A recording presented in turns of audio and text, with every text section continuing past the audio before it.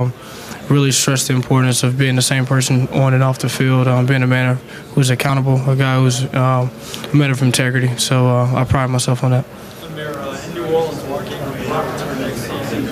Talk about the potential playing on an offense like that with Drew Brees and a lot of talent. Uh, New Orleans, they have a great, prolific offense. You know, they spread the ball around a lot.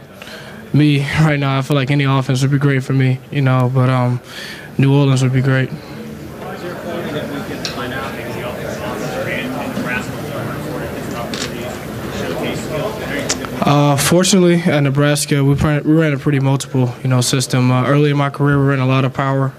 Uh, later in my career, we ran a lot of zone and inside zone.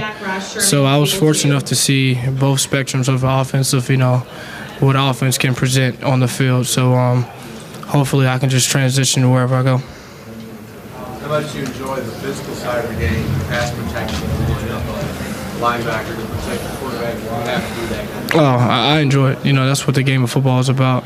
You know, being a guy who's uh, good in every every area, not just running the football, but also catching the football, blocking. Um, like I said earlier, I'm, I'm in the developmental stage. I understand uh, blocking is something I have to get much better at, but um, right now I feel like I'm learning a lot of techniques. Just been down at the Senior Bowl that will help me develop better better in those areas. How do you feel you are in blitzing right now? I'm getting better, getting better. Um, got a lot better at the Senior Bowl. You know, um, I've had some games where I'm not so good. I've had some games where I'm really good. So um, just becoming more consistent on a day-to-day basis. Talk about your experience as a running back and who do you pattern your game after the next level? Um, right now, I don't feel like I can pattern my game after anyone.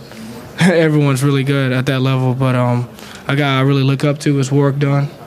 Uh, he was a running back who I feel like he could, you know, take it the distance. He could catch the ball in the backfield. A guy who was, you know, powerful between the tackles, and off the field, he was a, you know, for you know, first team guy. You know, so um, that's the guy I look up to. Warrick Dunn. Have you talked to the Lions, or do you expect to talk to the Lions? What was that? Uh, have you talked to the Lions, or do you expect to talk to them? Uh, I've talked to him.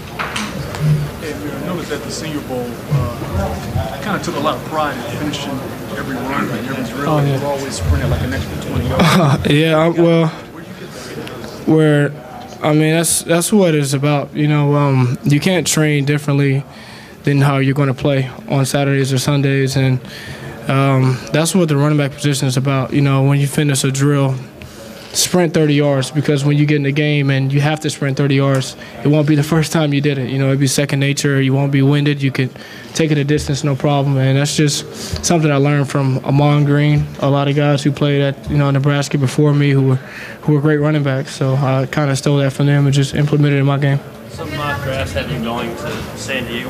What are your thoughts on the Chargers organization? Great organization. You know, I played in their stadium this past bowl game, so I'm familiar with the area. Um, looking forward to learning more about them. How does Randy Gregory's game transition to the next level? He's a freak of nature. Randy Gregory, I played with him. Um, one of the best athletes I've ever seen. You know, so I'm sure he won't have a problem transitioning. I know they're looking for a guy who can do it all, a guy who can, you know, they don't have to take off the field. And I, I'm pretty sure I can speak for every team when I say that. But uh, the Lions are looking for a guy who, who's dynamic. So um, hopefully someone in this draft will fit their suits. You mentioned Warrick Dunn. Do you have an opportunity? I have not.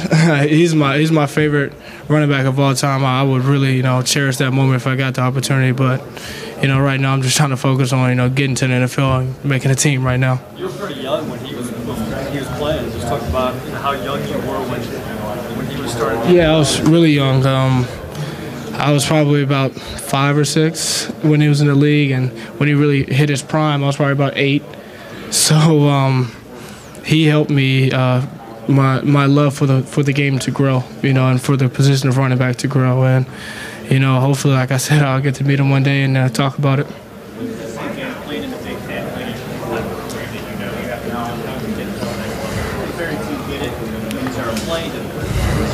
Um, honestly, I, I've always had confidence in myself. Even out of high school, I was lightly recruited.